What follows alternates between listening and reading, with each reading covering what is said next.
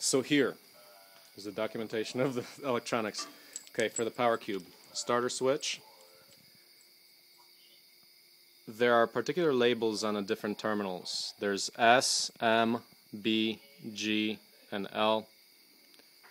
The B is the power, the lower, if you look at that square pattern, the B is the power going to the positive terminal. The one above that, that's S for start, that's the black wire here. That goes to the starter solenoid on the Kohler engines. Get some light in there. Starter solenoid, that's the that's the actual connection. That's the solenoid is on the engine itself. You don't need an external solenoid. And the power, of course, goes from the positive to the solenoid. The negative terminal is grounded here. So back to the switch. There's another terminal called L, which is the upper right of the four. The L is the running, the run, which means that you need to connect the power up the fuel solenoid and the fan. So here we have the fuel solenoid wire uh, going to this thing is the fuel solenoid. It's the one that has these diodes in it. And the other one goes back to the fan, the positive of the fan.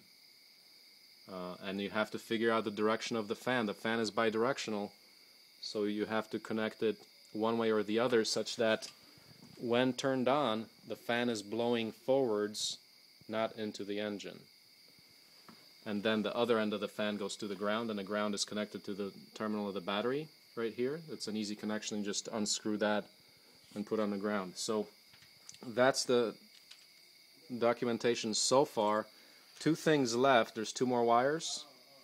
After we turn the engine on, after filling up with fuel and hydraulic fluid, we're going to test what these are, but one of them will be charging and the other one will be shut off. For the shut off, the shut off goes to the terminal called M on the switch. So M goes to the shut off. Now the ground, since the system is already connected to ground at the frame, we don't need to use that um, because, for example, the starter solenoid is grounded through the fr frame, so the ground can be left untouched, and that's about it. Now, these are switches that I've seen different patterns on them, but the letters, we'll go by the letters.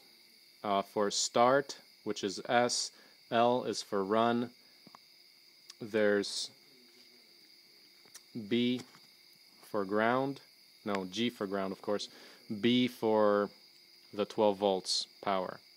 And then there's M for shut off. So that's that's the convention on these switches.